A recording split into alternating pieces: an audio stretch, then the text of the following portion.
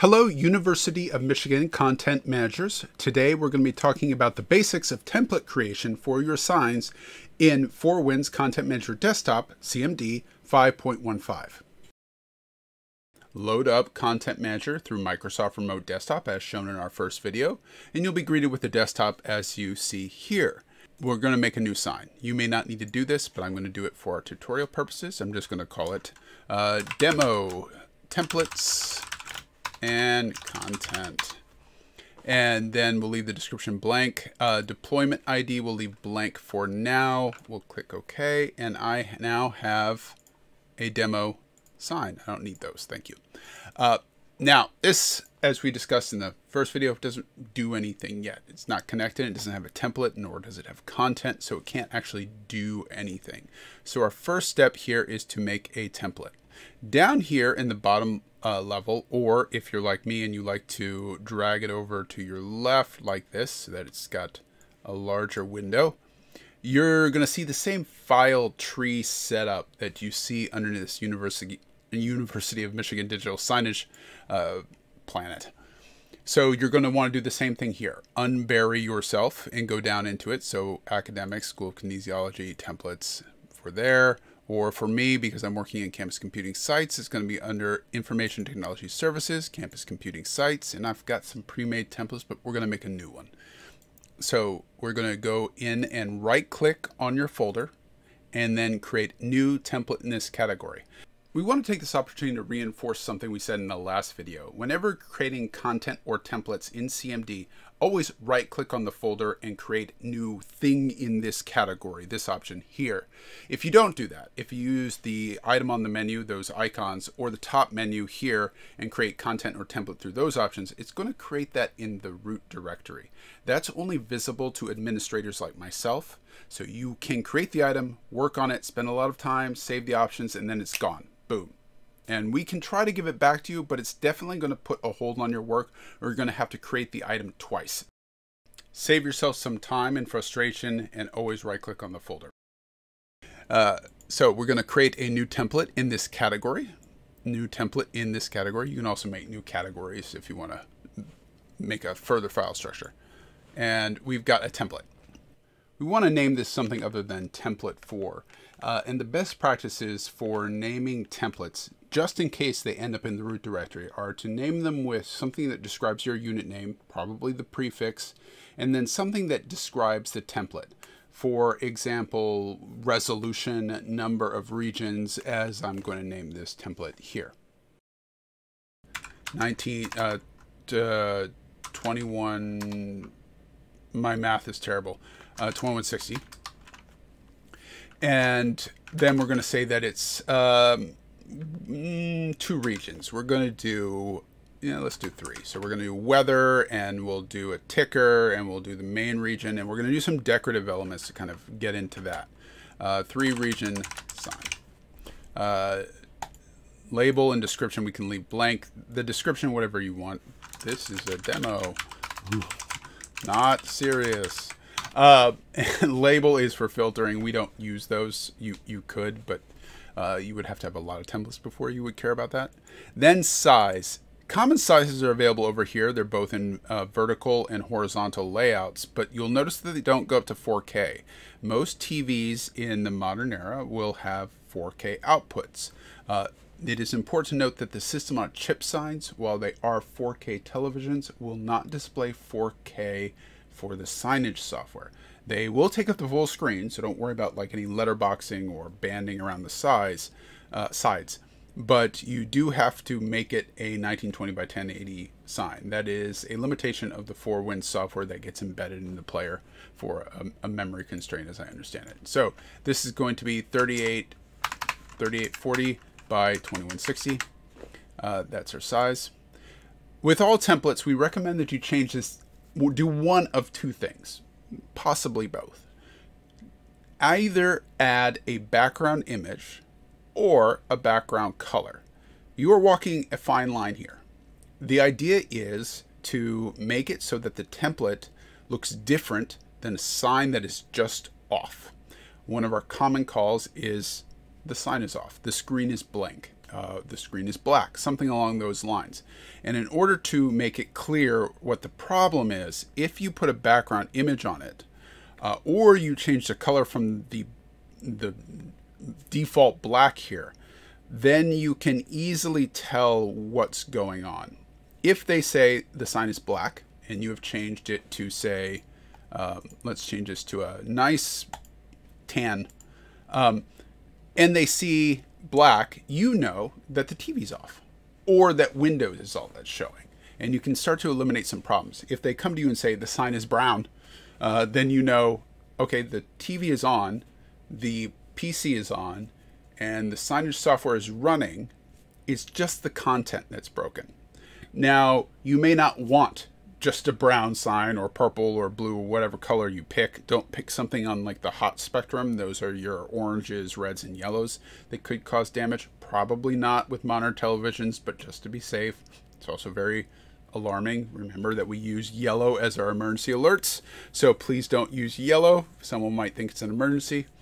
Um, you could, if you don't want it to show up as a big brown splotch on your wall, use a background image uh, as I said before, that's a fine line because if you use a background image, someone may not know that it's broken to report the issue to you and say, hey, by the way, something's wrong.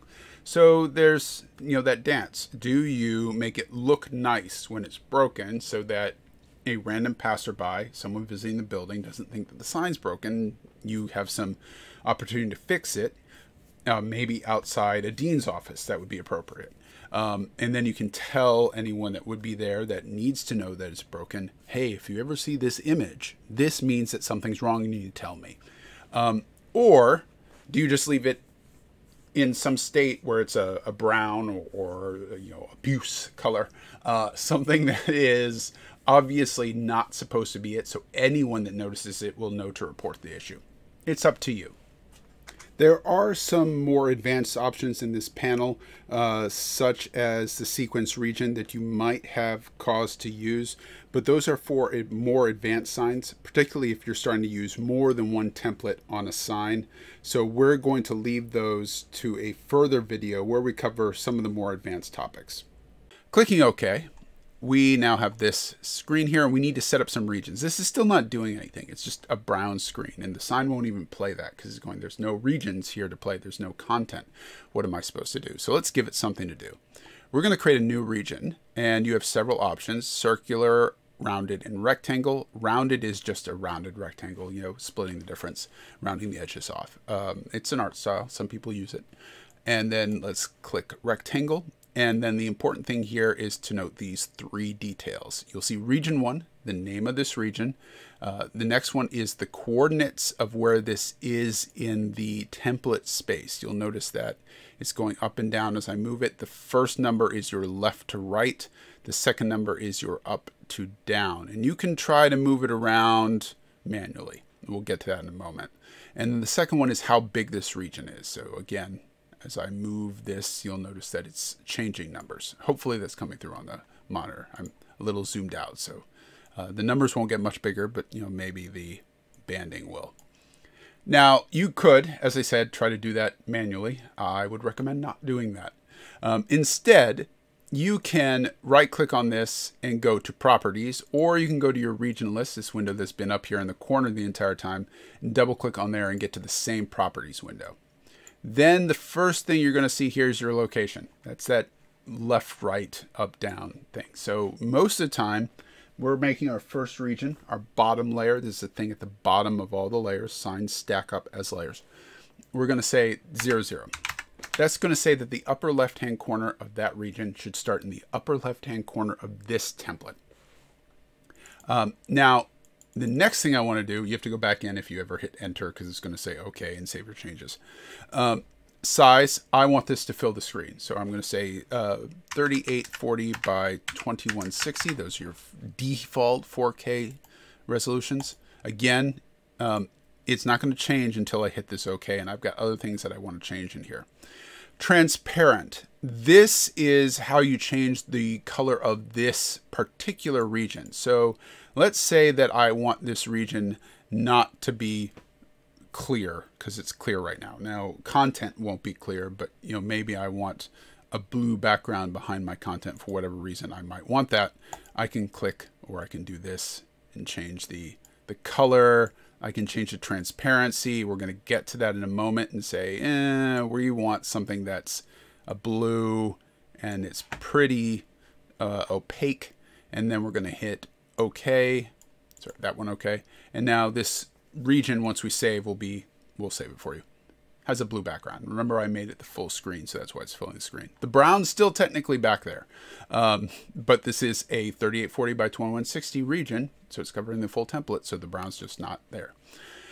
Um, next is shape. If I wanted to change this, I could change it to say, I want this to be a circle, and now it's a circle. Um, probably don't.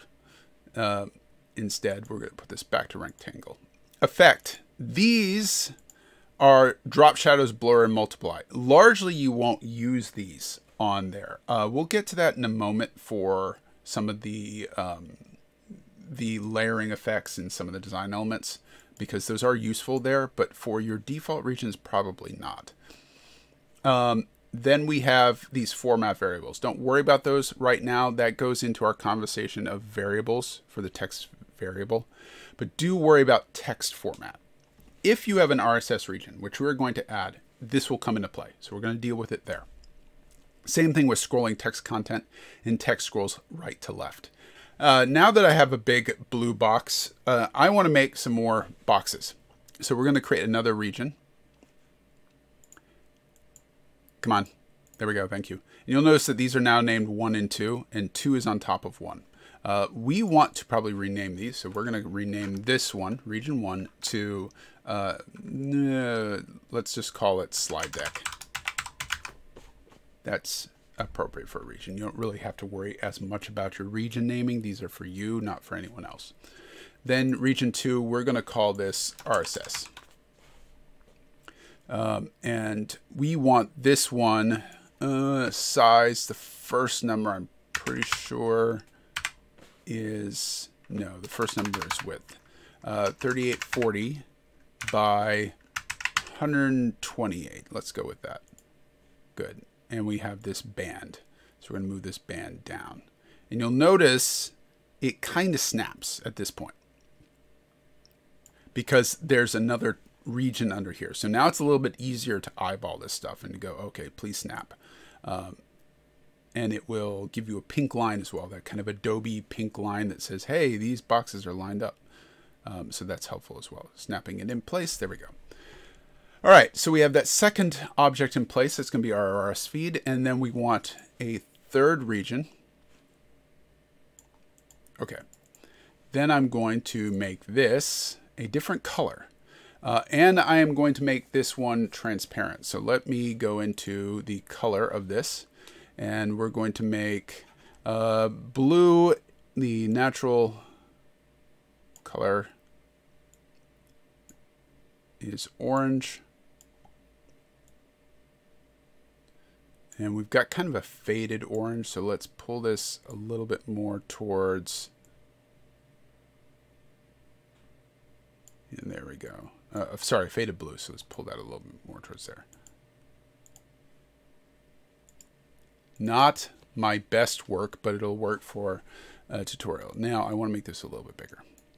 Okay, now uh, talking real quick about some other options that might be useful to you as you design.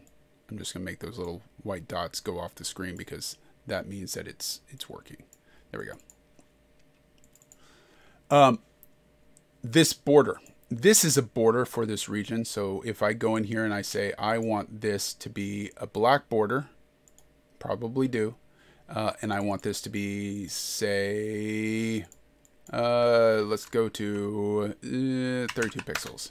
I now have a 32 pixel black border around it. I don't particularly want a black border around it, but for argument's sake, we'll do that and we're going to save changes. So this button up here is your savior for this. That is your save and close button. It's the old style floppy. If you do not click this button, the template changes are going to go away. So let's click that button. We now have our demo template. Once we have our demo template, we need to assign it to our sign, and we do that by clicking and dragging. This is one of the reasons that I like to put this window on the left-hand side. If you have at the bottom, you'll notice on occasion that the click and drag will click and drag and select everything that you dragged it over and then dump it onto your sign. A little bit easier to do if you're dragging from left to right. Keep in mind at this point, once you attach the template to the sign, it's still not going to do anything because it needs content in those template regions for it to play anything. So until we get to that point, the sign's still not going to function. Our next video is going to cover the basics of content creation so that you can finish up your sign.